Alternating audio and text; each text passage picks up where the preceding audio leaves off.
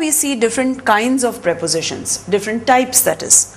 First is the simple prepositions. They are single words.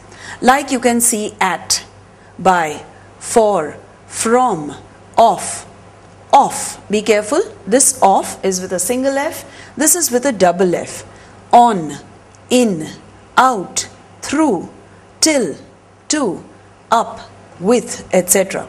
Let us take examples of each type to see how we can use it. Now, if I say I will meet you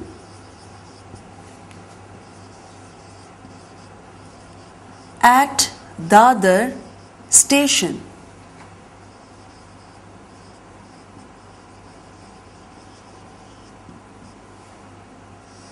We are using the preposition at to denote place.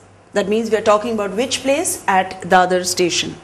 So, at is showing us place. But suppose I say, I will meet you at 4 o'clock.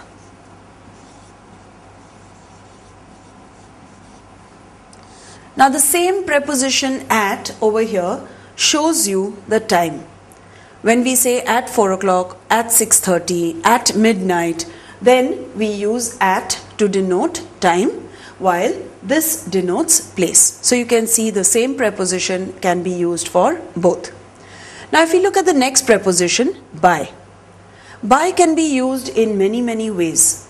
For example, if I want to say, by whom is something done? Like, the papers were collected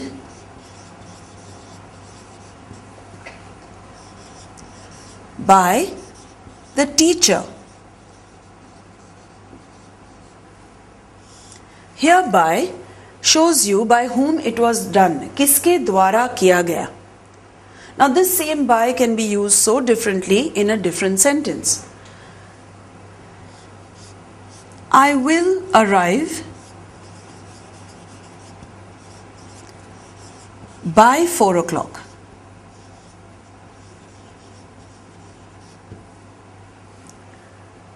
Now, please note here when we said at 4 o'clock, it showed you the exact time at 4 o'clock.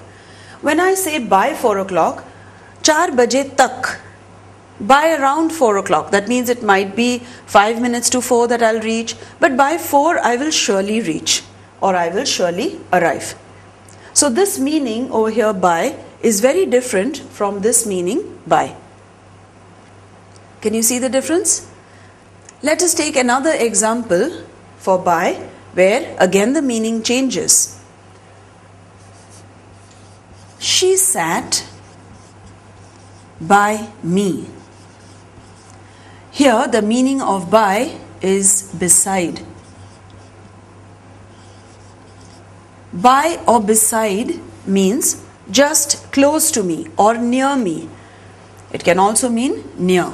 Now, all these are prepositions which have similar meaning in this context इस संदर्भ में आप कह सकते हैं she sat by me beside me near me मेरे नज़दीक बैठी, मेरे बाजू में बैठी.